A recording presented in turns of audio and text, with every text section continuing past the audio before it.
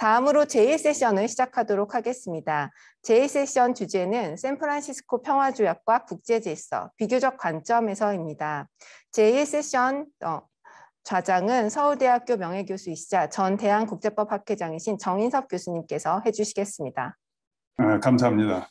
그 저는 첫 번째 사, 세션의 사회를 맞은 어, 서울대학교 현재 명예교수로 있는 정인섭이라고 합니다.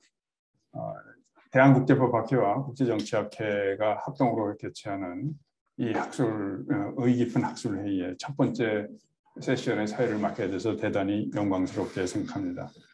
아까 조금 전에 그 회장님이 말씀하셨던 인사말 중에서도 어, 2013년에 합동 학술회의를 한번 하고 지금 8년 만이다 이렇게 말씀하셨는데 저도 그때도 참석했습니다만은 그 사이 8년이나 흘렀나 하는 것에 새삼 세월이 빠르다는 걸 느꼈습니다.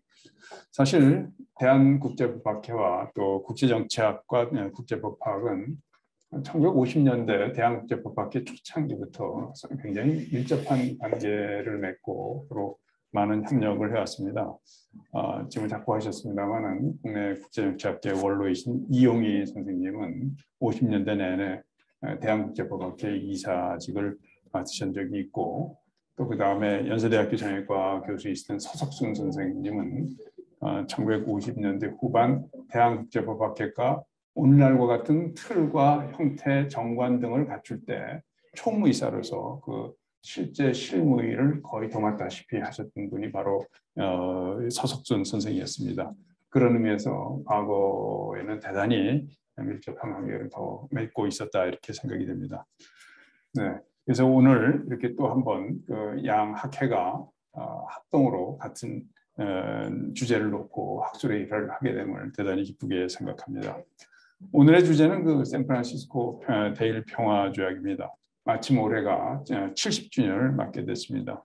샌프란시스코 평화 조약의 의의는 어, 서두에 양 학회 회장님께서 잘 말씀을 해주셨기 때문에 어, 세상 발표할 됐습니다. 적어도 지난 2차 대전 후에 동아시아 전후질서 구축에 출발점을 이룬 조약 중의 하나였다 이렇게 말씀드릴 수 있겠습니다. 아, 이런 어, 중, 어, 중대한 샌프란시스코 조약을 현재 논의하기 위해서 첫 번째 세션에서는 세 분의 에, 발표자와 세 분의 토론자를 모셨습니다.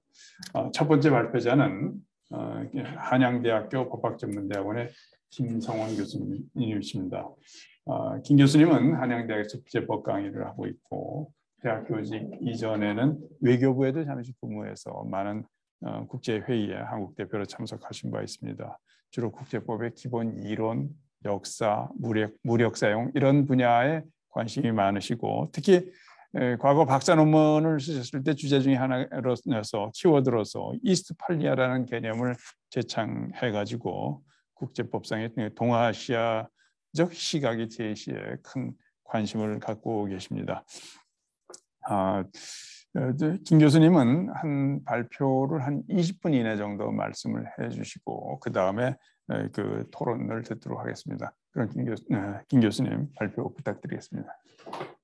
네, 안녕하십니까. 어, 방금 정인석 선생님께 과찬의 어, 소개를 받은 어, 한양대학교 김소원 교수입니다. 아, 먼저 어, 국제법 학자대회에 에, 국제정치학회와 어, 국제법학회가 공동으로 주최하는 회의에 이렇게 좋은 기회를 주신 점에 대해서 어, 이문관 회장님, 전재성 회장님 그리고 어, 총무이사님, 연구이사님께 어, 모두 감사의 말씀을 드리겠습니다.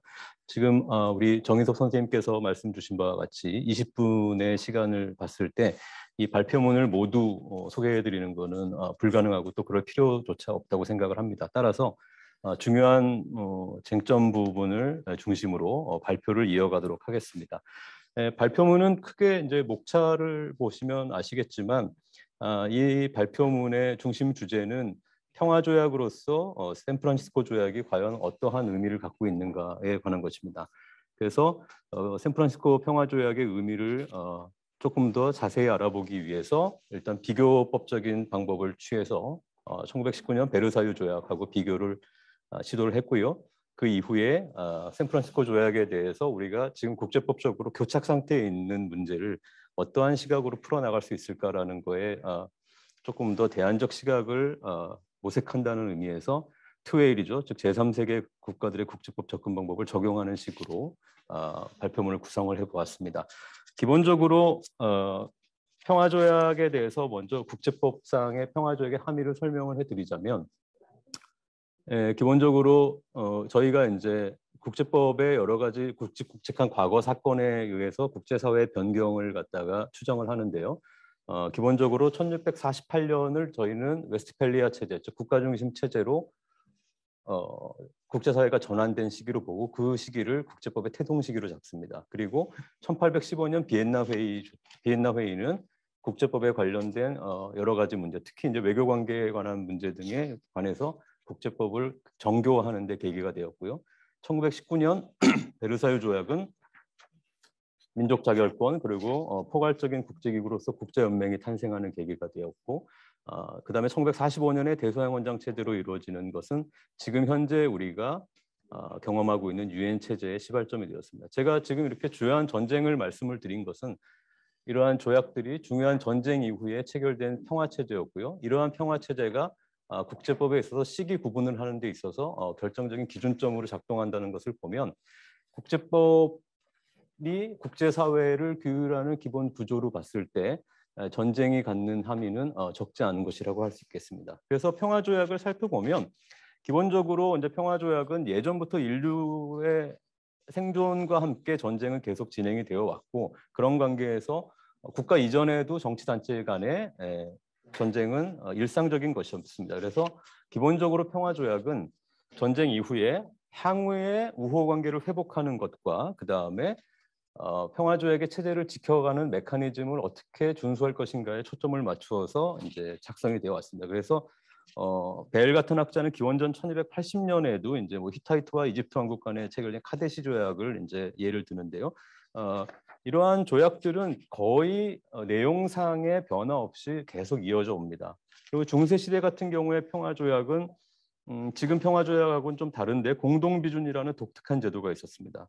네, 중세 시대는 방금 전에 말씀드린 바와 17세기 이전에는 국가 중심 체제로의 국제 사회가 아직 형성이 덜 되었기 때문에 굉장히 다양한 주체들이 있었고 그 다양한 주체들이 전쟁에 직간접적으로 개입을 했기 때문에 다양한 주체들 간의 평화 조약에 대한 공동 비준이라는 그러한 관행이 있었습니다. 아 근데 이러한 공동 관행은 16, 아, 17세기의 웨스트팔리아 평화 체제 이후에 거의 소멸하게 되는데요. 이유는 공동 관행의 아, 공동 비준에 어, 참여하게 되었던 다양한 주체들이 어, 국가로 통일이 되었기 때문입니다. 우리가 어, 관심을 가져야 될 평화 조약은 이제 전강기 시대의 이제 평화 조약인데요. 그러니까 학자들은 이렇게 평가하고 있습니다. 어, 전쟁에 대해서 정치적 및 법적 책임을 명확히 하고 전쟁을 일으킨 국가 및 개인에 대한 단죄를 규정한다는 점에서 발표문 7페이지입니다. 이전 평화 조약의 전통적 형식으로 이탈을 보여주는 시기가 전강기 시대라고 이야기를 합니다. 특히 1919년에 이제 베르사유 조약은 독일에 대해서 가혹한 가혹한 대우라는 것은 독일 측의 이제 입장이지만 죄송합니다. 그 전쟁 책임 그리고 범죄자 처벌을 갖다 강력하게 규정함으로써 어, 여태까지 평화조약에서 보여왔던 그러한 기본적인 형식, 즉 뭐냐면은 향후의 우호 관계를 조금 더 확립하자는, 즉 미래 청사진을 제공하는 그러한 방식에서 이탈된 조약으로 평가를 하고 있습니다. 아, 그렇기 때문에 어, 학자들이 얘기한 것처럼 평화조약은 어떠한 연속성도 갖고 있지만 단절성도 그 중요한 전쟁마다 보여주는데 그러한 의미에 있어서 1919년 베르사유 조약은 이전 평화 조약에서 굉장히 이탈된 단절성을 보여주는 조약이라고 할 수 있겠습니다. 그렇다면 어, 베르사유 조약은 어떤 점에서 우리가 어, 이런 기존의 평화 조약으로부터 단절성을 어, 찾을 수 있느냐를 봤을 때 뭐 기본적으로 어, 교전당 그 평화 베르사유 조약은 어, 평화 조약 전문에는 일반적으로 보통 다른 평화 조약 전문에는 교전 당사국이 상호주의에 따라 합의로 평화가 달성되었다는 내용을 담고 있는데 베르사유 조약은 어, 이런 내용이 없습니다. 그리고 어, 평화를 위한 전쟁 상태가 아, 평화를 전쟁 상태가 아닌 의미로 이해하는 평화에 대한 소극적인 접근도 취해지지 않았습니다. 독일의 재무장을 어, 막자라는 이유로 어, 주된 이유였기 때문에 베르사유 조약에서의 독일의 영토 관련 조항은 굉장히 자세하게 규정이 되어 있습니다. 그 내용은 8페이지에서 9페이지까지 설명이 되어 있고요. 그다음에 군축 처벌 및 배상 관련 사항에서 독일을 거의 비무장화 시키는 정도까지의 에, 엄격한 어, 조건을 어, 부여했습니다. 나아가서 제7부의 227조에서 230조에서는 독일 관련 처벌 사항을 규정하고 있는데 독일 황제인 비렐름 2세의 인도와 전쟁법 위반자에 대한 기소를 주된 내용으로 하고 있습니다. 또한 이 점을 다루기 위해서 특별법원의 설치를 규정하고 있는데 사실상 역사학자들의 표현을 보면은 독일은 이 정도까지 갈 줄은 몰랐다고 어, 이야기를 평가를 합니다. 그렇기 때문에 독일 입장에서도 그리고 그 당시에 평화 조약의 어떠한 역사적인 전통적 흐름으로 봤을 때도 굉장히 베르사유 조약은 혁신적인 조약이었다 이렇게 얘기를 하죠. 하지만 이 베르사유 조약에 대해서는 그런 긍정적인 평가도 있지만 아, 부정적인 평가도 있습니다. 무엇이냐면 어, 베르사유 조약에서 규정된 독일에 대한 어떠한 가혹한 이 제재가 2차 대전에 씨앗이 되었다라는 어, 주로 그런 어, 비판들이 있고요. 두 번째, 서유럽 중심의 조약이었다는 점에서 어, 동유럽에 대해서는 전혀 어떤 관심을 갖지 않았고 특히 일본의 동북아 침략에 대해서 무관심한 태도를 취했다는 점에서 국지적 평화 조약이라는 점을 나타냅니다. 아, 하지만 그럼에도 불구하고 어, 베르사유 조약은 아, 이전의 전통적인 평화 조약 체제로부터 단절성을 보여주는데 다시 한번 강조드리면은 아, 전쟁 범죄자의 처벌을 강화를 했고요. 그런 점을 갖다 평화 조약의 주된 목적으로 어, 제시를 했다는 점에서 어, 가치가 있다고 생각이 됩니다. 아, 그러면 이제 그것에 비해서 51년 샌프란시스코 조약은 어떻게 되었느냐? 샌프란시스코 조약도 결국은 1951년 연합국과 일본 간에 체결된 대일 평화 조약이기 때문에 평화 조약이라는 프레임에서 저희가 접근을 할 수 있습니다. 아, 결론적으로 말씀을 드리자면 1919년에 베르사유 조약에서 나타났던 그러한 전쟁을 일으킨 국가에 대해서 또한 전쟁을 유발한 어, 책임자에 대한 그 연합국의 어떠한 강력한 접근 또는 강력한 태도가 51년 아, 샌프란시스코 조약에서는 찾아보기 어렵다는 것입니다. 미국이 일단은 일본 미국과 일본은 사실은 51년 샌프란시스코 조약을 냉 저 안보 조약으로 이해했는데 이 점에 평화 조약이 아니라 안보 조약으로 이해했다는 점은 뭐냐 하면 기본적으로 정치적 맥락에서 냉전이 굉장히 큰 영향을 준 것으로 평가를 합니다. 예, 그래서 어, 영토 조항을 살펴보면 뭐 영토 조항에 대해서는 어, 오늘 어, 발표하시는 어, 후반에 발표하신 이서구 교수님께서 굉장히 어, 정리를 잘 해주셨기 때문에 예, 그것을 갖다 여러분이 참조하시면 될 것 같고요. 그 다음에 이제 뭐 어, 김채영 교수님은 43년 카이로 선언, 45년 얄타 협정, 뭐 1945년 포츠담 선언에 논의한 것이 다 51년에 반영되었다라고 말씀을 하시지만 역사를 공부하신 또 우리 정병준 교수님은 오히려 그런 것이 배제가 되었다라고 주장을 하십니다. 아, 이런 것이 배제가 된 이유는 뭐냐 하면 어, 미국의 어떠한 동아시아 지역에서의 패권 유지가 크게 작용을 하지 않았나라는 어, 설명을 어, 덧붙이고 계십니다. 그리고 정병준 교수님 글에서 보면은 그러니까 영미 회담 직전에 미국은 동경에서 일본과 영국 초안에 대한 협의를 진행하였는데 미국이 일본과 영국 초안에 대한 협의를 진행한 것 자체가 굉장히 충격적인 사건이라고 그렇게 평가를 하십니다. 그래서 이 기본적으로 영토 조항에 대해서 굉장히 느슨하게 규정이 되었다는 것이 베르사 저 어, 샌프란시스코 조약의 특징이고 그것 때문에 결국은 지금 동아시아에 아직까지도 분쟁의 씨앗이 되고 있는 우리나라와 관련한 독도 문제가 계속 어, 거론이 되고 있는 것으로 생각을 합니다.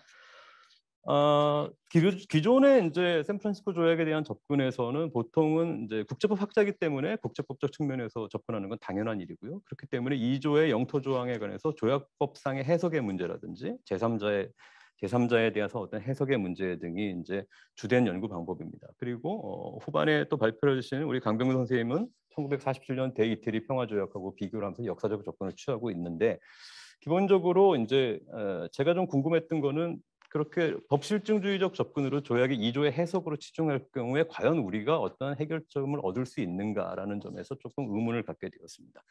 그래서 여태까지 우리가 샌프란시스코 조약에 대한 접근 방법에 대해서 조금 대안적인 프레임을 찾을, 찾으면 어떻겠는가라는 시도에서 어, 트웨일을 적용해 보도록 하겠습니다. 트웨일에 관한 내용은 여러분들 기본적으로 굉장히 복잡하고 어, 복잡하다는 이유는 내용이 어렵다는 것이 아니라 트웨일이 제3세계 국제 제3세계 국가들의 국제법에 대한 접근 방법인데 하나의 통일된 이론으로 어, 규정되는 것 자체를 트웨일 학자들이 굉장히 거부합니다. 즉 역사학, 정치학, 철학 뭐 모든 것이 다 포함되어 있어서 여러 가지 접근 방법을 취하는데 트엘 학자들의 공통적으로 나타나는 특징은 무엇이냐 하면은 서구로 대표되는 제1세계와 그 비서구로 대표되는 제3세계 간의 어떤 갈등 관계입니다. 그래서 박백은 교수님은 17페이지에도 있지만 이항 음, 이항 대립 구조를 취하고 있습니다. 그래서 식민지, 비식민지, 문명, 야만, 지배, 피지배 이런 식 중심 주변 등으로 어, 살펴보고 있고 이런 점에서 트웨일 학자들이 관심거리는 극단적으로 말씀드리면 이겁니다. 지금 처해 있는 이 상황 자체를 만들어낸 주된 엔진은 무엇이었느냐? 그리고 그러한 엔진에 의해서 만들어진 지금 현상이 제3세계에 어떠한 영향을 주고 있고 그 영향이 영속화되는 거에 대해서 서구 국가들 지금은 뭐 강대국이라고 표현할 수 있겠죠. 강대국은 어떠한 조작을 하고 있는가를 밝혀내는 것이 트웨일의 어, 주된 목적입니다.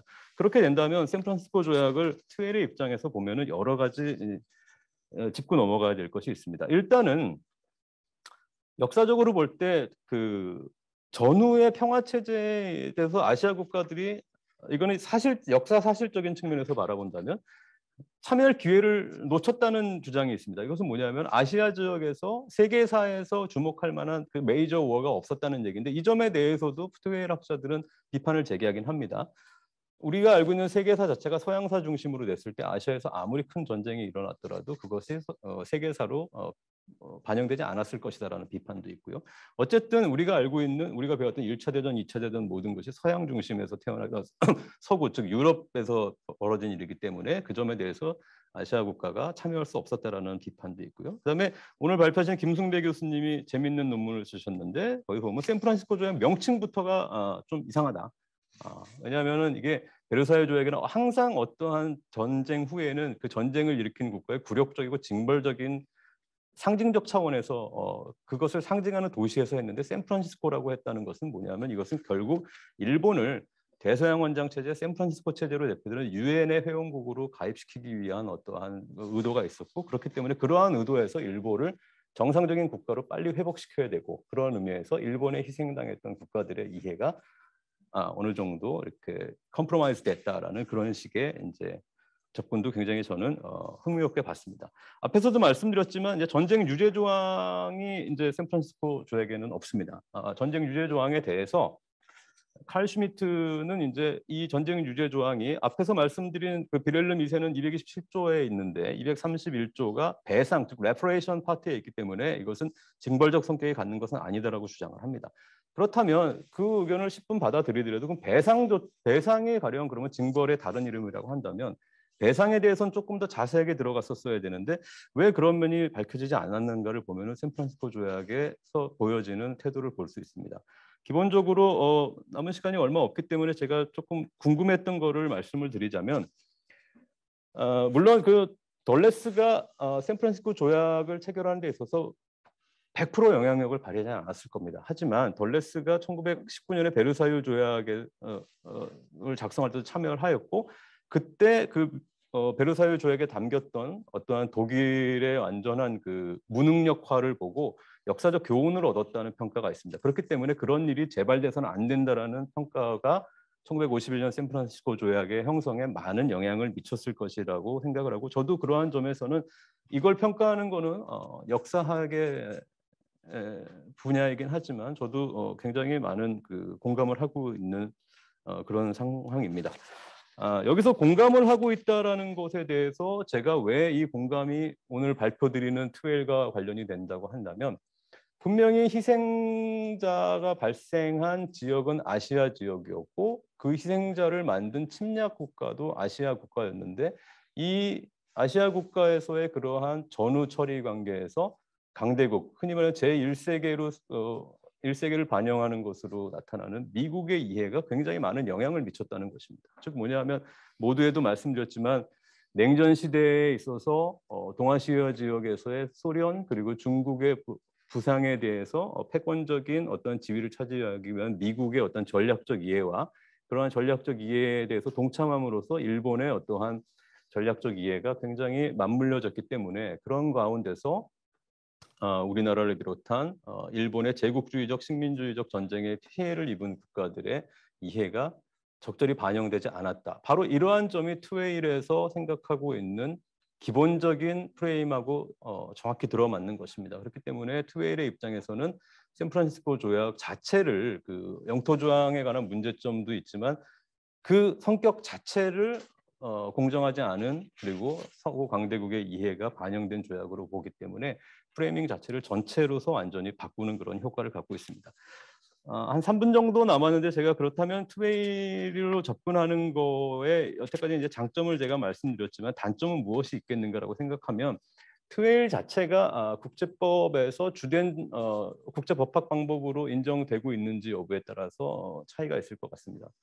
어, 처음에 말씀드린 것 같이 역사, 철학, 사회학, 어, 페미니즘 모든 것을 포섭해서 하기 때문에 문제 제기를 하고 새로운 프레이밍을 하는 건 좋지만 그렇게 됐을 때 실제로 이것이 소송에 갔을 때 정확하게 어떤 그 리걸 아구멘테이션에 있어서 어떠한 주장을 할 것인가에 대해서는 조금 취약한 면이 있습니다.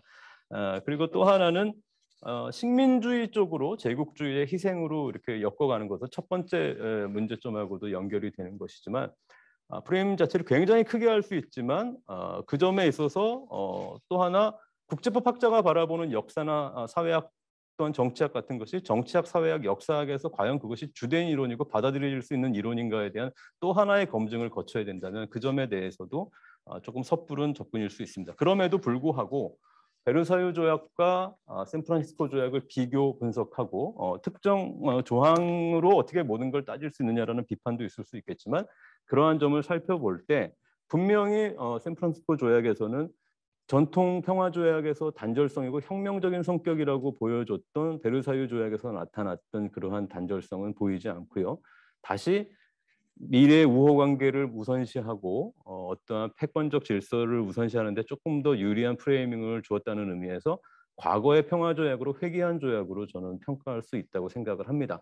아, 그런 점에서 어, 우리가 어, 독도 문제를 비롯한 동아시아 지역의 어떠한 문제에 있어서 이 해결책이 아니라 문제의 중심이 된 샌프란시스코 조약에 대해서 다양한 방법에서 아, 접근이 취해져야 될 필요가 있다고 생각을 하고요. 또뭐 어, 일부에서는 어, 이거 뭐 47년 조약과 51년 조약을 비교하는 게 무슨 의미가 있는가? 그다음에 각각 상황이 다른 쪽에서 체결된 조약이 어, 비교하는 게 무슨 의미가 있느냐라는 뭐 말씀도 있으시지만 아, 저는 그 점도 충분히 이해를 합니다. 하지만 국제법 학자의 전략에 있어서 비교는 국제법 학자의 자유 영역에 들어가고요. 그러한 비교를 하는 데 있어서 어떠한 프레이밍을 짤 것인가에 대해서는 조금 더 대안적인 접근을 취함으로써 막혀 있는 어떠한 교착 상태를 뚫을 수 있는 조금이라도 도움이 된다면 저는 그러한 접근은 어, 강조되어야 된다고 생각을 합니다. 이상입니다. 감사합니다. 예, 김성 교수님 감사합니다. 그 샌프란시스코 평화 조약에 대해서 여러 가지 그 평가가 있을 수 있지만 특히 그 김성원 선생님께서 그 트웨일의 관점에서 볼 때는 이것이 강대국이 주도하는 국제 질서의 대편에서 약소국의 이해랄까 어떤 권리 구제 이런 것들이 좀 의도적으로 배제된 어, 조약이 아닌가 하는 그런 비판도 하고 또 그런 그런 한편 또 이제 트레일적인 관점으로 봤을 때 단 단점이랄까 한계에 대해서도 잘 지적을 해주셨습니다. 네, 이 김 교수님 발표에 대해서는 어, 저희가 그 박건영 교수님을 토론자로 모셨습니다. 박건영 교수님은 가톨릭대학 국제학부 교수로서 특히 한국 한반도를 중심으로 한 국제관계 분야에 많은 관심과 업적을 갖고 계시며 국제관계사를 어, 포함한 여러 저수를 갖고 계십니다. 어, 박건영 교수님께서는 줌으로 토론에 접속하실 예정인데 어, 한 세션이 30분이기 때문에 어, 박 교수님 한 7, 8분 정도 시간으로 토론을 해주시면은 어, 그것은 나머지 한 2, 3분 정도 그 발표자의 response를 듣는 시간을 갖고 첫 번째 발표를 마치도록 하겠습니다. 그럼 박건영 교수님 마이크를 받아주시기 바라겠습니다. 네. 어, 시간 제약이 있으니까 바로 어, 저희 토론의 본론으로 들어가겠습니다. 아, 김 교수님의 이 논문에서 김 교수님의 argument는 세 가지로 요약될 수 있을 것 같은데요. 각 아기먼트에 대한 저희 의견과 질문 몇 개를 어, 드려보자 합니다. 김 교수님의 발표는 이제 시간 제약상 어, 논문 전체를 아우르지 못했기 때문에 이 논문 전체에 대해서 어, 제가 이 아규먼트를 요약을 했다는 점을 미리 말씀드리고 첫 번째 아규먼트는 샌프란 조약은 강대국의 권력 정치, 다시 말하면 약소국들의 이익을 희생시킨 과정의 산물이다. 김 교수님에 따르면 어, 조약 자체가 제국주의 패권주의의 결과라고 보는 투웨일은 조약 체결 과정의 배경과 맥락을 드러내 줌으로써 국제정치적 역학관계의 주류 이론과 국제법에 대한 법 실증주의적 접근을 뿌리에서부터 문제 삼는 비판적인 관념적 실천적 도구이다. 이런 시각에서 보면 샌프란시스코에서의 일본에 대한 이른바 관대한 평화는 미국의 아시아에서의 패권 유지 시도 및 국제 역학 관계를 잘 활용한 일본의 능력으로 설명될 수 있다. 이게 아기먼트 넘버 원 저도 어, 동의를 하는 바인데 궁금한 점은 이맨 마지막 부분 당시 국제 역학 관계를 잘 활용한 일본의 능력 그 구체적인 사례 한 가지라도 들어주시면 특히 이 국제 정치학자들, 국제 관계사를 연구하는 음, 분들에게는 아, 도움이 될 것 같다는 생각이 듭니다. 아기먼트 넘버 2, 김 교수님의 두 번째 어, 포인트는 조약 체결 과정의 배경과 맥락을 무시 또는 배제하는 주류 방법론적 이론인 법실증주의는 식민주의 또는 제국주의 또는 power politics와 불가분의 관계 있다. 그게 김 교수님의 이제 두 번째 포인트입니다. 이, 이, 이런 지적에 어, 동의합니다. 이 샌프란시스코 조약을 power politics가 아닌 즉 TWAIL의 관점에서 보면 보이지 않던 것, 즉 지배와 배제의 배경과 맥락이 보인다는 거죠. 어, 그래서 투웨일은 법 실증주의적 접근에 대한 비판적 또는 대안적 시각으로서 그 가치가 어, 인정된다고 볼 수 있겠습니다. 보다 큰 그림을 그릴 수 있고 궁극적으로 실체적 진실에 더 가까이 어, 접근하게 해주는 도구다 이렇게 생각을 하고 어, 김 교수님의 이 아규먼 넘버 2에 어, 동의합니다. 김 교수님의 어, 세 번째 포인트는 사실 이 부분이 이 논문의 어, 핵심이라고 볼 수 있겠는데 김 교수님 발표하실 때는 이제 시간이 없어서 이 문제를 어, 좀 자세히 다루시지 못한 것 같은데 요점이 저는 아, 이 논문의 그 메인 아규먼트라고 생각을 합니다. 김 교수님은 이 투웨일의 실천성, 투웨일이 가지고 있는 그 모랄리티 그것은 음, 누구든지 아마 어, 동의하리라고 생각하는데 이것이 과연 얼마나 실천성을 가질 수 있겠느냐. 이런 문제와 관련해서 김 교수님은 조약 자체를 문제화하는 프레이밍 전략이 필요하다고 강조하고 있습니다. 아, 아까 얘기했듯이 이는 뿌리를 건드리는 아, 비판 이론적 시각에 따른 것인데 그럼에도 불구하고 이 배제되고 무시된 주체들에게 발언권을 주는 이러한 어, 투엘의 시각은 도덕적 우위를 가지기는 하지만 실천성과 관련해서는 의문이 제기될 수 있다는 점. 어, 역사가이자 국제정치학자 E.H. Carr가 이야기하기를 Theory does not create practice, but practice theory. Politics are not a function of ethics, but ethics politics. 즉 이론이 실제를 만드는 것이 아니라 실제가 이론을 만드는 것이고 정치는 윤리나 도덕에 따르지 않고 윤리나 도덕이 정치를 반영할 뿐이라는 거죠. 마키아벨리를 어, 요약한 이 EH카에 대해 쉽게 반박할 수 없는 이유는 투키디데스 이래 국제정치의 현실이 놀라울 정도로 오랜 기간 동안 이와 유사했다는 점일 것입니다.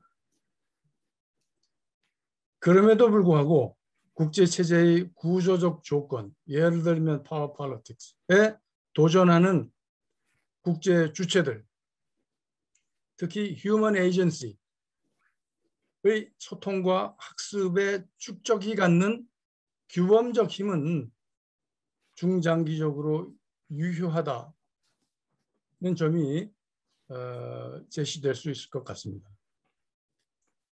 우리 한국인들의 삶과 암, life and knowledge에 직접적 영향을 주는 국가 면제라는 또는 주권 면제라는 국제 관습법의 주류 이론에 대해서 2018년 한국 대법원의 판단 그리고 이른바 아, 페리니 소송과 관련해서 인권 보호는 불가침성이며 강행 규범을 위반하는 국제 범죄 국가의 행위에는 국가 면제를 적용할 수 없다며 원심을 파기한 이탈리아 대법원. 그리고 재판관은 어, 국제 범죄 인권의 중대한 위반 국제 인도법의 중대한 위반에 대해서는 국가 면제가 인정되어서는 안 된다고 본 ICJ 판사 안토니오 트린다지 등이 주요 사례가 될 수 있을 것입니다. 사실 국제법은 시대적 가치 변화에 조응하여 변할 수밖에 없습니다. 오늘 회의에 그 어, 프레이즈가 그렇게 나와 있었던 것 같은데 국제 규범은 누구에 의해 정해지는 것이 아니라 인간으로 구성된 국가 간 소통과 학습 그리고 상호작용에 의해 형성되는 것이기 때문일 것입니다. 국가 면제가 처음 도입된 당시에는 국가의 모든 행위에 대해 국가 면제가 인정되었죠.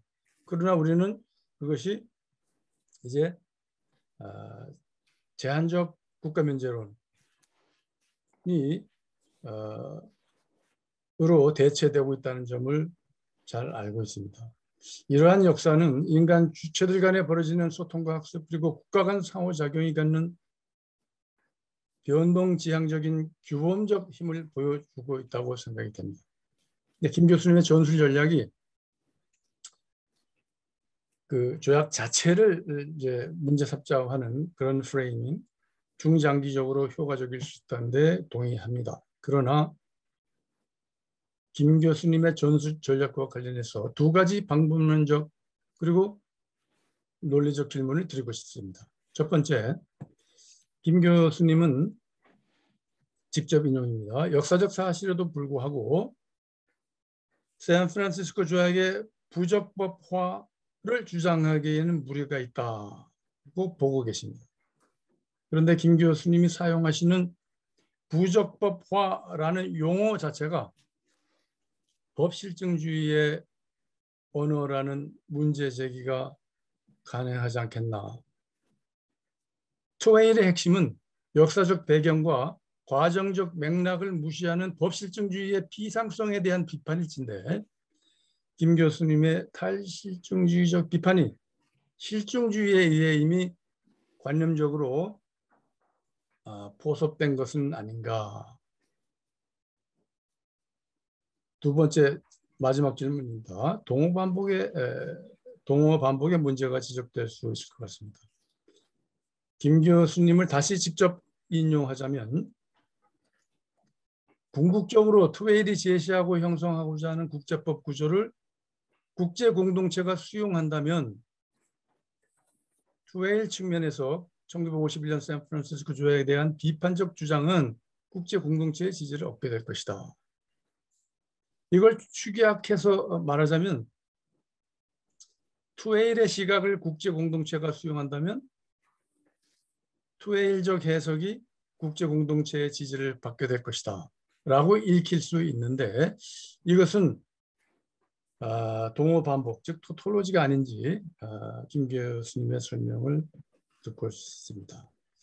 이 논문을 읽으면서 아, 김 교수님의 학자로서의 그 정교하고 어, 나아가 이 전체적인 음, 그림을 그리시려는 의지가 돋보였던 아, 매우 걸작이 아닌가 저는 나름대로 그렇게 아, 생각을 하고 좋은 글을 써주셔서 감사드립니다. 저의 토론은 여기까지입니다. 예, 감사합니다. 그, 그러면 그김 교수님 말씀을 잠깐 어, 들어야 될 텐데 1분.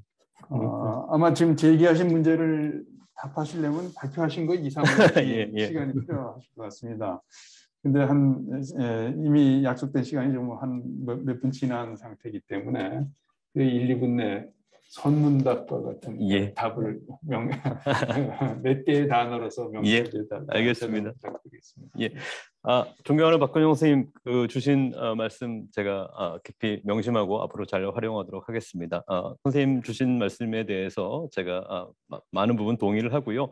아, 부적법화라고 말씀드린 거는 아, 그 단어를 씀으로써 법실증주의에 얼마나 아, 우리가 어, 뭐랄까 함몰되어 있는지를 갖다가 일부러 어, 의도적으로 반영하기 위해서 쓴 용어이기 때문에 그 점에 대해서는 혹시나 아, 제가 오해를 어, 불러일으켰다면 그 점에 대해서는 제가 사과를 드리겠습니다. 그리고 동어 반복에 대해서는 아, 굉장히 제가 아, 쓴 그 이상한 문장을 아, 깔끔한 문장으로 어, 고쳐주셔서 그 점에 대해서도 제가 감사의 말씀을 드리겠습니다. 에, 기본적으로 한 가지만 더 말씀드리자면 트웨일의 길은 굉장히 다양하지만 또 한 곳으로 모이기 힘듭니다. 그렇기 때문에 아, 오늘 선생님께서 주신 어, 토론 내용을 어, 바탕으로 앞으로 어, 다시 한번 그쪽에 대해서 조금 더 자세히 공부하는 그런 계기로 삼겠습니다. 감사합니다. 예, 감사합니다. 그러면은 그 첫 번째 발표, 예, 김성훈 교수님의 발표와 그 박, 어, 박건영 교수님의 그 토론을 마치고 그럼 두 번째 발표와 어, 토론을 맡아줄 분을 모시겠습니다. 와 토론에 갖는 그 순서를 갖겠습니다. 어, 두 번째 발표는 충남대학교 1호 일문학과에서 그 어, 교수로 계시는 그 김승배 교수님이 그 베르사유 평화 체제와 샌프란시스코 평화 체제의 탄생, 거시적 비교 구조론에서 한일 관계론이라는 부제하에 발표를 해주겠습니다. 김 교수님은 원래는 일본 출신, 출신으로 출생으로서 어, 국내에 와서 연세대학교에서 공부를 하셨고 현재 충남대 1호 인문학과에서 초임 교수로 근무를 하고 계십니다. 어, 이에 대한 그 토론자로는 사법정책연구원에 계신 이혜영 박사를 모셨습니다. 어, 사법정책연구원은 대부분 산하의 그 연구기관이고 어, 거기서 그 이혜영 박사님은 다, 어, 그동안 사실 다양한 활동을 해 오셨는데 뭐 국제 인권 인권이나 또는 국제 국- 국내 국가의 관계 뭐 이런 등등에 대해서 어, 수많은 연구 업적을 내셨고 특히 학술회의에서 그 토론자로 오셨을 때는 늘 날카로운 토론으로서 회의 및 어- 네, 예, 회의의 어떤 그 어, 내용을 더 알차게 만들어 주신 분이라고 생각합니다. 아, 아, 시간이 자- 다소 좀 지연이 되고 있습니다만은 어, 발표자께서는 20분 이내, 그다음 토론자께서는 한 7, 8분 정도로 해주시고 짧으면은 더 감사하겠습니다. 네, 그럼 김 교수님 부탁드리겠습니다. 예, 안녕하십니까. 그 이렇게 어, 학교에서 발표할 수 있게 되어서 예, 영광스럽습니다. 예, 오늘의 주제는 저는 그 크게 잡았습니다. 뭐 미시적으로 보거나 고시적으로 보거나 뭐 장점도 있고 단점도 있을 거라고 생각합니다.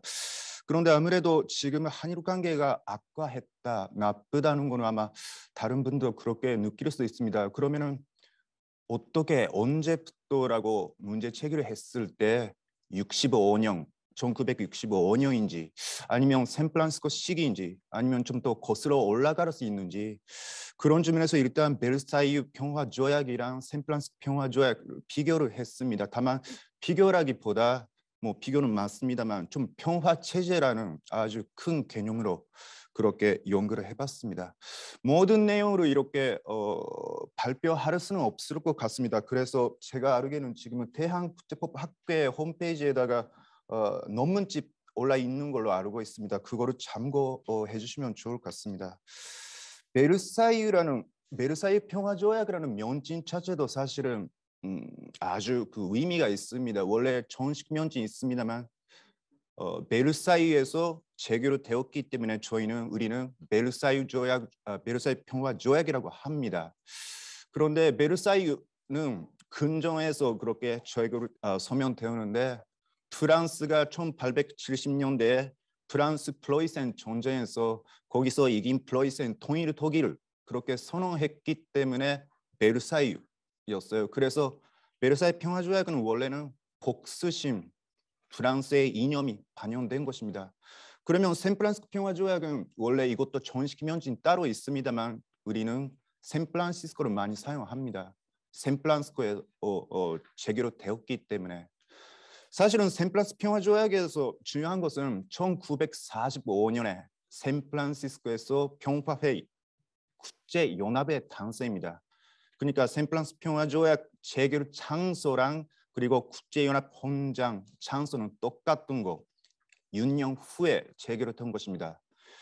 원래 다레스라든가 미국 사람들은 도쿄에서 샌프란스 표화조약 재결을 하면 어떨까라고 했습니다. 다만 만약에 그렇게 했다면 일본 사람들의 감정적인 거, 민족주의 일으킬 수도 있다.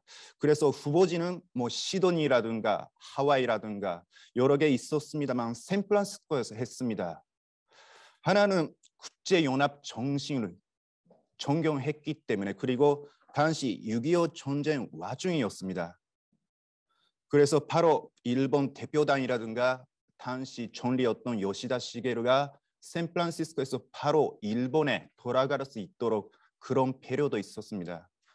샌프란시스 평화 조약이랑 어, 베르사유 평화 체제 차이가 뭐냐고 하면 음, 많이 있습니다. 일단 시대가 다릅니다. 다만 시대라는 거는 국제주의가 발전되었는데 제국주의는 그대로 잔존했습니다.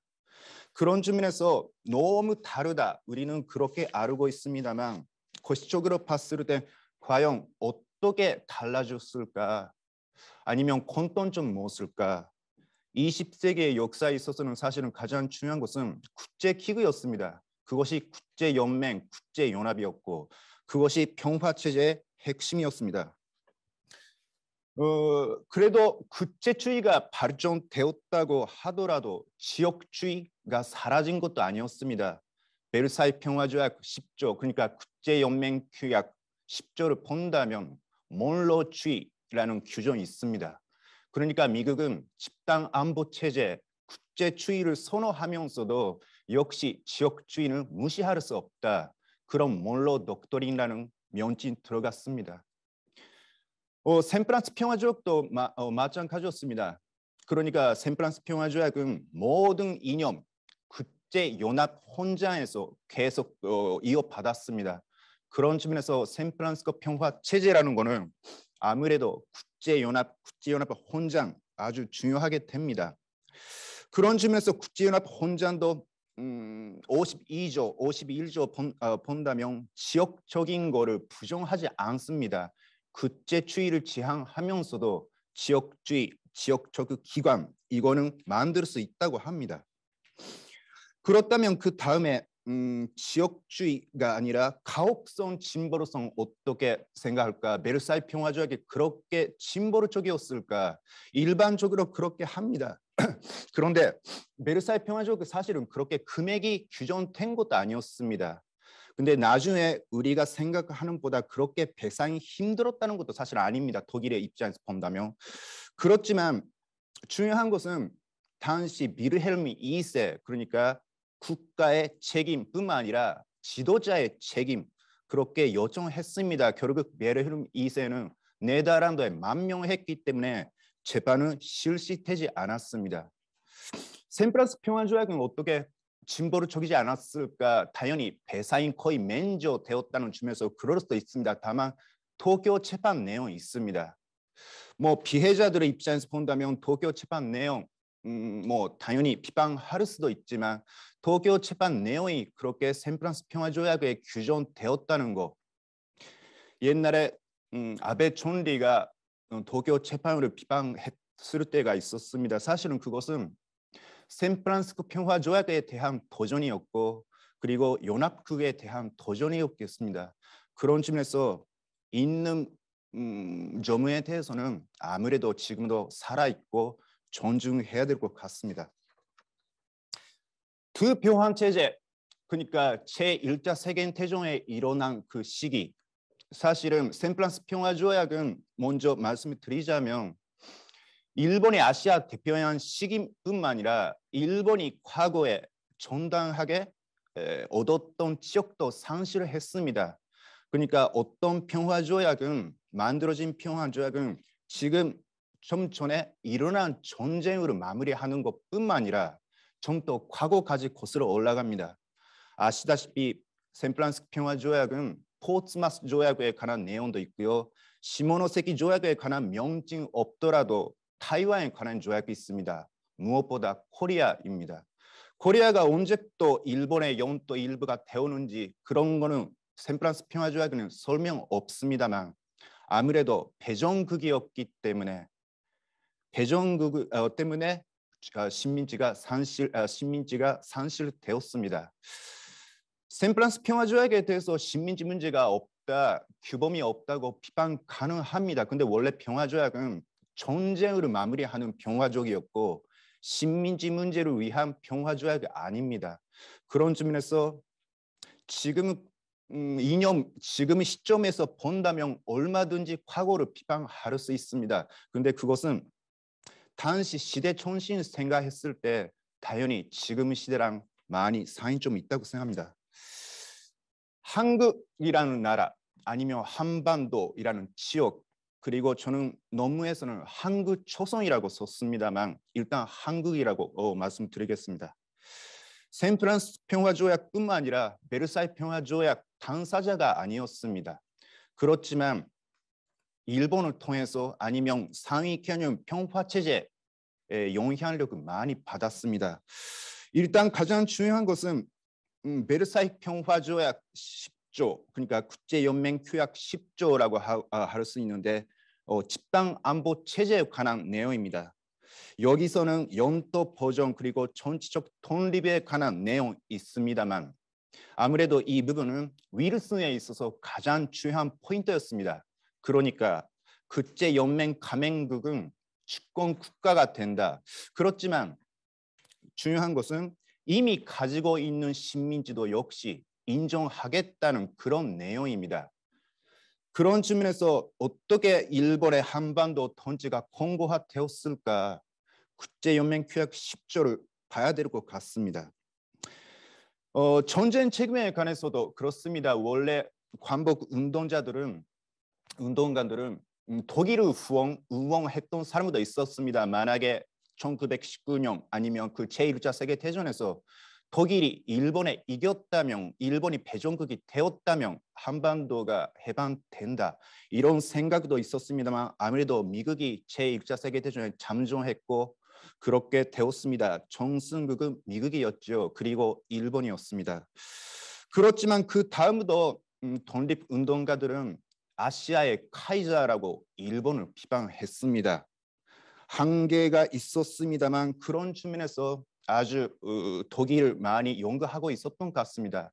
일본은 당시 음, 비르헤르미 2세에 관한 법적인 음, 처벌이라든가 그거에 대해서 아주 우려했습니다.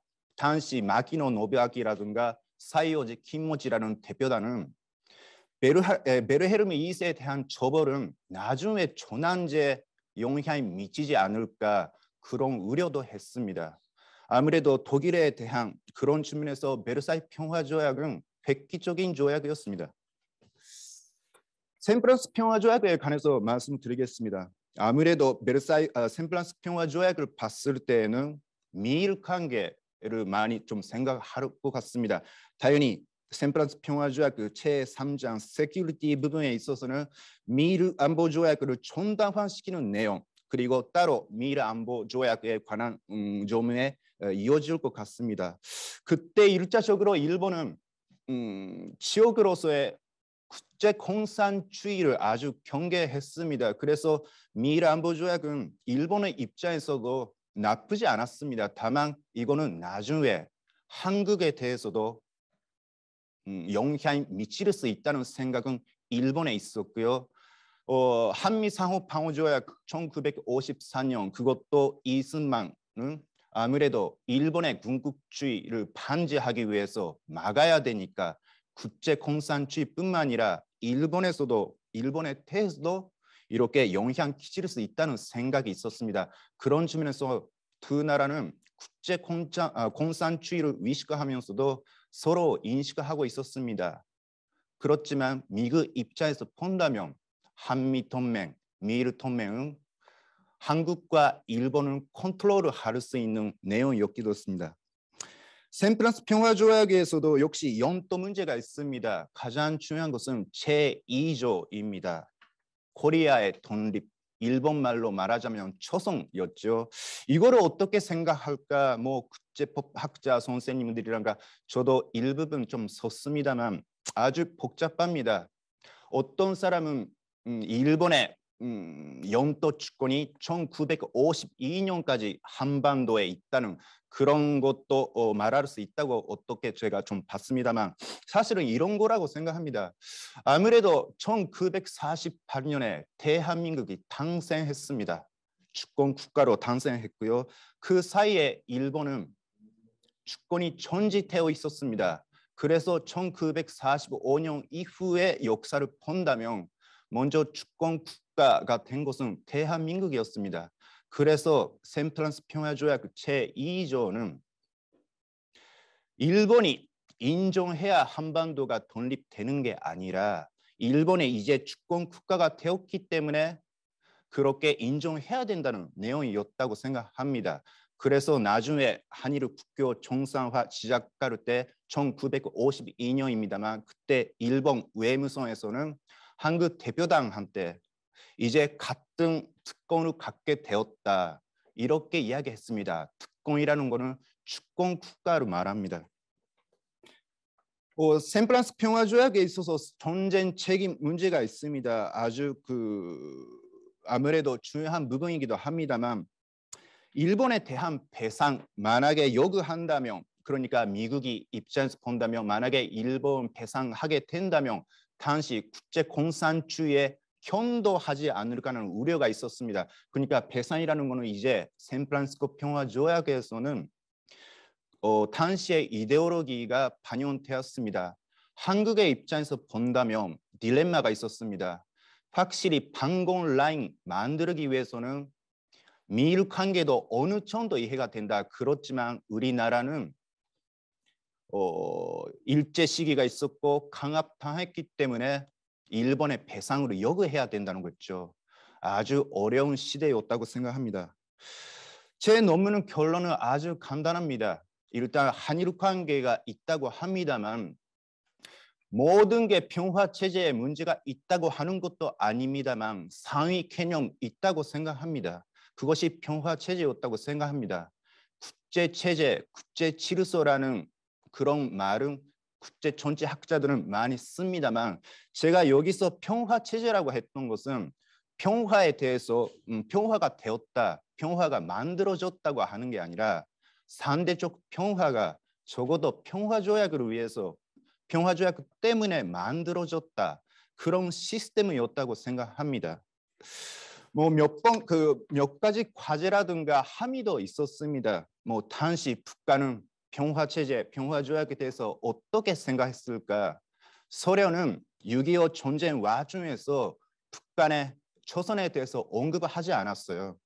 그렇지만 박건용이라든가 김일성, 미일 안보 조약, 샌프란시스코 조약에 대해서 비판도 했습니다. 아무래도 다시 말하자면 지금 이 시대는 많은 거 알게 되었다고 생각합니다. 여성의 인권, 아동의 인권, 잔혹 행위에 대해서 그렇게 우리가 지금 문명과 더불어 발전하고 있다고 생각합니다. 그래서 과거 봤을 때 지금의 시점에서 보면 많이 문제가 있습니다. 그런 진실을 알으면서도 어떻게 법적으로 판단할지 끊임없는 도전이라고 저는 생각합니다. 그래서 망각하는 게 좋다 그렇지도 않습니다. 다만 유럽의 역사를 본, 아, 봤을 때 미국이나 영국이 1944년에 33년에 이탈리아 사람 많이 죽였어요. 그렇지만 아무도 항의는 안 했습니다. 이탈리아가 배정국이었기 때문에 그렇지만 이탈리아 문제뿐만 아니라 유럽에 나중에 회복했을 때는 망각이 필요했습니다. 나치즘에 대한 기억은 있었습니다만 파시즘이라든가 스탈린 추에 대한 기억은 없었습니다. 망각된 거죠. 그래서 국제 정치학은 이제 망각에 대해서도 연구해야 된다고 저는 생각합니다. 이상입니다. 예, 감사합니다. 그 주어진 시간을 조금 단축시켜줘서 특히 감사드리겠습니다. 그 발표 전문은 아까도 그김 교수님도 잠깐 언급하신 것처럼 이 영상으로 이 학술회의를 접하신 분에게 유용할 거라고 생각하는데 이 학술회의 발표 논문 전문이 대한국제법학회 홈페이지에 에, 게시가 돼 있고 누구든지 자유롭게 그 내려받을 수가 있습니다. 그래서 그 어, 발표 전문을 참조하시면서 영상에 영상으로 그 회의에 접해 주시면 더 편리하실 겁니다. 네, 그럼 이어서 그 아까 소개드린 사법정책연구원의 이혜영 박사님을 어, 토론자로 모시고 한 7, 8분 정도 토론 듣겠습니다. 부탁드립니다. 네. 네, 교수님 소개 감사드립니다. 안녕하십니까. 저는 대법원 사법정책연구원에 있는 이혜영 연구위원입니다. 먼저 대한국제법 학회와 이제 국, 한국국제정치학회를 비롯한 여러 유수기관들이 개최한 이런 의미 있는 행사에서 어, 이 분야에 대해서 특히 깊이 있게 연구해 오신 어, 김승백 교수님의 발제에 대해 토론을 하게 된 것을 영광으로 생각합니다. 개인적으로는 사실 이 주제 자체에 대해서 깊이 연구해 본 적이 없어서 저는 배우는 마음으로 발제문을 읽었습니다. 그런데 그럼에도 불구하고 국제법학을 공부해온 저에게도 이제 국제 정치학적 또는 국제 관계학적인 접근법으로 바라보는 양체제의 형성 과정과 어, 구조에 대한 분석이 매우 흥미롭게 와닿았습니다. 어, 국제법학과 국제정치학 내지 국제관계학은 물론 서로 다른 문화와 언어 방법론을 가진 별도의 독립적 학문 영역이지만 학제 간 연구를 했을 때 유용성이 있을 수 있는 지점들이 있는 것 같습니다. 특히 이제 특정 국제법 규범 내지 제도 체제가 어떤 형성 배경과 형성 배경하에 형성되었고 또 구, 구조에 대한 설명을 제공하는 국제관계 이론의 경우 어, 특정 국제법 규범 내지 제도가 형성된 데 관여한 힘의 불균형 불균형적인 역학관계나 정치적 요소를 좀 드러내주는 측면이 있고 이를 통해 해당 국제법 규범 내지 제도의 의미를 더욱 잘 이해해 줄 수 있게 하는 것 같습니다. 오늘 교수님의 발제문을 보면서 그러한 이제 학제 간 연구의 유용성과 가능성을 저는 확인할 수 있었던 것 같습니다. 특히 어, 교수님의 발제는 어, 제국주의 시대 연장선에서 탄생한 두 체제의 탄생 배경과 구조를 비교 검토한 후에 각 체제에서 한국과 일본의 관계가 지역성, 영토성, 전쟁 책임성의 측면에서 어떻게 규정되었는지를 보여주었는데요. 특히 저에게 가장 인상 깊었던 것은 그 양체제 두 평화 조약들이 모두 전쟁 책임에 대한 청사는 어느 정도 하였지만 식민 지배 책임에 대한 청사는 전혀 없었고 이렇듯 식민 무죄를 완전히 유보했을 때 평화 체제가 존재하면서도 갈등의 불씨가 어떻게 남아서 현대의 한일 관계까지 보여주고 있는지를 너무 설득력 있게 설명해 주신 부분이 저는 가장 흥미롭게 읽었습니다. 사실 샌프란시스코 평화조약이 체결된 지 70년을 맞고 있으나 한일 관계는 여전히 그 유산에서 벗어나지 못하고 있는 측면이 있습니다.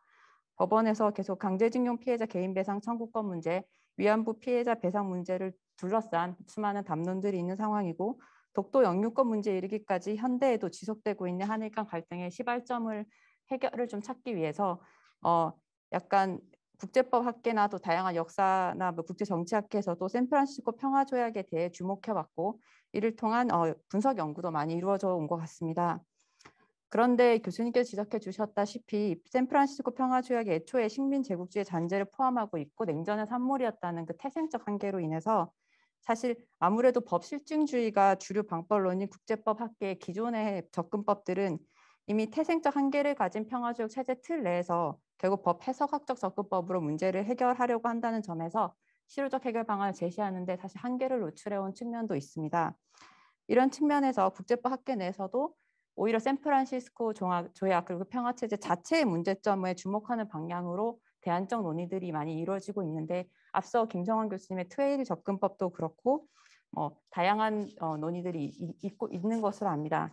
그런데 그러한 대안을 모색하는 과정에 김승배 교수님의 오늘 발제와 그리고 평소 해주셨던 많은 어, 귀중한 연구들이 매우 유용한 설명이 되어주고 있는 것 같습니다. 어, 특히 식민 지배의 정당성을 부정하는 쪽으로 느리지만 국제 규범도 발전해 오고 있음을 감안한다면 발, 그 교수님의 설명은 분명 평화조약이 창설한 그 평화조약 그 자체 체제의 문제점에 주목하게 하며 이로써 대안적 논의의 필요성에 정당성을 부여하는 기능을 할 뿐만 아니라 대안적 논의의 틀을 설계함에 있어서도 좋은 참고 자료가 되어주고 있는 것 같습니다. 이를 전제로 저는 이제 교수님의 발제를 들이, 들으면서 제가 국제 법학을 공부해온 사람으로서 몇 가지 의문이 들었던 것을 질문하는 것을 한 세 가지 정도 큰 질문하는 것으로 토론을 가름하고자 합니다. 먼저 첫째 제 질문은 그 베르사유 체제와 샌프란시스코 체제가 전쟁 책임성을 어떻게 다루었는가에 대한 교수님의 관찰에 대해서 좀 질문을 드리고자 합니다.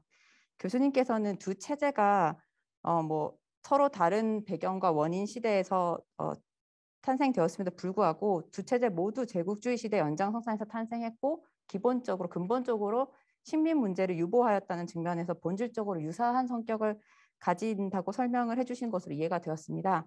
그럼에도 불구하고 두 체제가 책임성, 전쟁 책임성 내지 징벌성의 측면에서 특히 그 엄격성과 관대함에 있어서는 분명한 상위성을 보인다는 것도 이제 인정을 해주셨는데요. 그러면서도 한편으로는 그 책임성이나 징벌성에 있어 엄격성 내지 관대성의 차이를 보였지만 동시에 두 체제가 사실은 징벌성, 책임성의 관점에서 전진성과 후퇴성을 모두 가지고 있다라는 것도 지적해 주셨습니다. 즉 베르사유 조약은 책임의 소재를 분명히 하긴 하였지만 사실 비렐름 2세가 네덜란드 망명에서 처벌에 실패했고 사실 그 연합국들은 그, 그 승전국들은 이러한 네덜란드의 태도를 묵인했었습니다. 그래서 실제 처벌이 이루어지지 않았다는 측면에서 진전성과 후퇴성을 가지고 있고 샌프란시스코 평화 조약은 이제 천황에 대한 처벌 조항이 없었다는 점에서 후퇴성을 가지지만 어, 극동 국제군사재판소의 재판에 승낙한다라는 걸 제11조에서 규정을 하고 있고 실제 전쟁 범죄자들이 처벌되었다는 측면에서는 또 전진성을 가지고 있다라고 해서 양체제가 전진성과 후퇴성의 양면성을 다 가지고 있다고 설명을 해주셨는데요. 관련해서 저는 약간 양극단적으로 다른 측면에 의문이 좀 들었습니다. 먼저 첫 번째는 아무래도 국제 규범을 발전을 연구하다 보면 역사성을 고려하지 않을 수가 없습니다. 이게 무슨 말이냐면 법규범 발전에서 최초 선례가 가지는 중요성이나 의의는 매우 크다고 생각합니다. 그 질적 평가는. 그러면서 봤을 때 어, 애초에 베르사유 체제는 그 전에 선례가 없었던 방식으로 전쟁 책임이 있는 예, 국가 수반에 대한 체, 책임을 규정했다라는 측면에서 최초의 선례라는 미 가지는 질적 그 질적인 그 무게는 좀 다른 평가를 바, 가지지 않나라는 생각이 들었고요. 동시에 샌프란시스코 체제는 그전에 선례가 있었음에도 불구하고 후퇴성을 보였다는 측면에서 그 후퇴성이 가지는 또 질적 평가도 일부 전진 일부 후퇴가 아닌 좀 다른 무게가 있지 않나라는 생각이 들었습니다. 그리고 두 번째로는 어, 그 국제 규범의 발전을 이제 역사적으로 연구를 하는 많은 학자분들은 사실 그 서, 사실 이 샌프란시스코 이 조약 자체 문헌을 넘어서서 생각을 해봤을 때 그 베르사유 조약 체제부터 이, 이, 이 이후 유엔 헌장 체제까지 이르기까지 분명히 전쟁 책임을 묻는 것에서는 규범의 발전이 계속 선례의 발전이 있어 왔다라는 해석을 많이 합니다. 대표적으로 이제 아르투어 누스바움 같은 경우 어, 분명히 그 카이저의 그, 그 빌헬름 2세의 범죄인 인도는 이루어지지 않았고 네덜란드는 묵인했지만 베르사 또 또한 베르사유 조약은 승전국의 법원에서 전쟁에 관한 법과 간섭을 위반한 범죄나 선전국 국민에 대한 범죄를 저지를 독일인들 재판에 받도록 규정했고 실제로 이는 이루어지지 않아서 불만족스러운 결과를 가져왔지만 이러한 베르사유의 조약의 부분은 실제로 2차 세계대전 이후에 전쟁 범죄자들이 처벌되게 하는 선례를 쌓았고 이후 전쟁 범죄 책임성에 대한 규모의 발전이 견인하였습니다.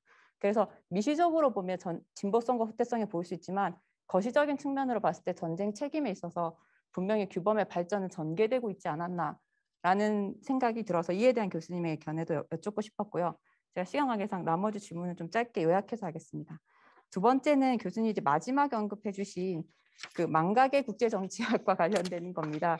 아무래도 평화조약이라는 것 자체가 책임성을 통한 정의 추구와 또 일종의 망각을 통한 평화 추구가 어느 정도의 긴장이 있을 수밖에 없는데요.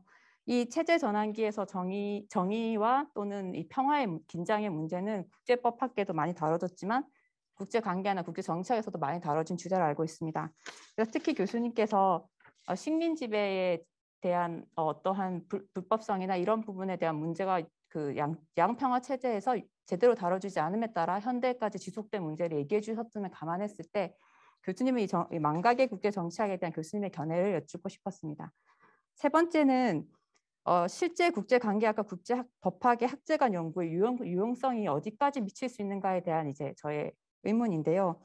제가 생각해 봤을 때 아무래도 국제관계학 이론을 통해서 어, 실, 어, 새로운 정책 결정을 하고 정책을 설계하거나 제도를 설계하는 쪽에서는 좀 많은 유용성을 발견할 수 있을 것 같습니다. 어, 교수님께서도 이제 마지막에 그 결론 부분에서 실제로 냉전 유산 질서를 극복하기 위해서는 앞으로 어, 미국과 일본 아울러 한국, 중국, 러시아 그리고 뭐 북한이 참여한 육자회담과 같은 다각적 접근을 통해 새로운 국제 체제가 창설되어야 될 가능성에 대한 얘기를 해주셨고 그런 논의가 있을 때 분명히 평화 체제 이 샌프란시스코 평화 체제 유산에 대한 재검토가 이루어질 것이다, 부상할 것이다라는 언급을 해주셨던 것을 감안할 때도 앞으로 어떠한 새로운 체제를 로 냉전의 유산 질서를 극복할 때 이전 체제로부터의 반성적 또는 비판적 이런 연구가 어떠한 어, 시사점을 줄 수 있는가에 대한 건 굉장히 유의미할 것 같습니다. 그래서 그런 부분의 유용성이 되게 있을 거라는 생각이 드는 동시에 이 두 번째는 사실 제가 아무래도 사법부 소속이다 보니 드는 의문이기도 한데 이러한 설명들이 사실 구체적으로 이 뭐 조약 자체나 이런 것들이 사법 판단의 대상이 되거나 분쟁이 구체적으로 사법적 해결의 대상이 될 때는 어떠한 시사점을 줄 수 있는지가 사실 언뜻 잘 떠오르지 않았습니다. 물론 이거는 법학자들이 더 앞으로 고민해야 될 쟁점이라고도 생각은 하는데요.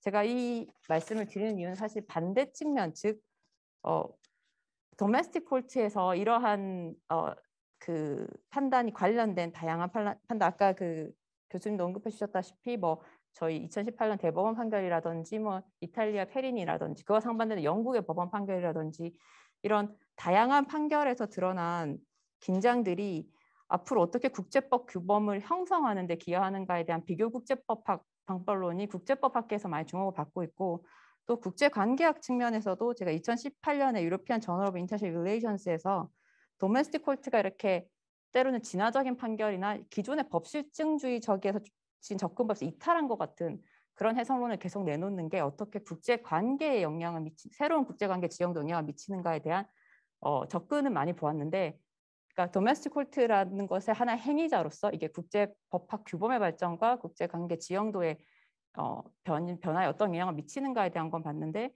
반대로 이 국제 관계학적 설명이 어떠한 이 국제 법학에 끼칠 수 있는 특히 이게 사법적 그 판단의 대상이 되었을 때에 대한 것은 좀 많이 사실 제가 보지도 못했고 저도 좀 의문이 드는 측면이라 혹시라도 교수님께서 그 부분에 대해서 고민해 보신 적이 있으셨다면 고견을 나눠주시면 감사할 것 같습니다. 저는 이것으로 마치겠습니다. 감사합니다. 예, 감사합니다.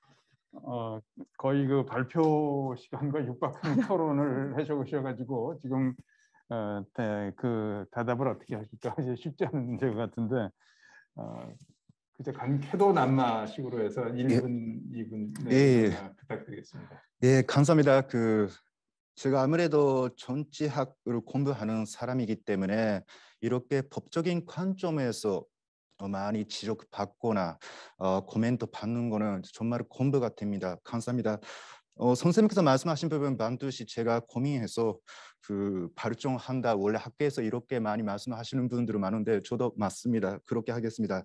하나만 지적을 한다면 망각이라는 단어는 저는 과거에 대해서 지금 잊어버리자고 하는 거 아닙니다. 그러니까 평화조약은 원래 망각을 하기 위해서 화해하기 위해서 그렇게 만들어집니다. 그래서 스위스 법학자 마테리 평화 조약이라는 것은 원래 타협이다. 타협의 산물이라고 했습니다만 원래 미국과 일본은 타협을 했다고 생각해요. 그렇지만 식민지 문제가 있었기 때문에 중국이라든가 소련이 당시에 평화조약에 서명하지 않았기 때문에 지금도 여러 개 문제가 있다고 생각합니다. 아무래도 많이 공부가 되었습니다. 이상입니다. 예, 감사합니다. 예, 그러면은 그 이상으로 두 번째 발표와 토론을 마치고 잠시 자리를 정리하고 DSS의 세 번째 발표자와 토론자를 모시겠습니다. 감사합니다.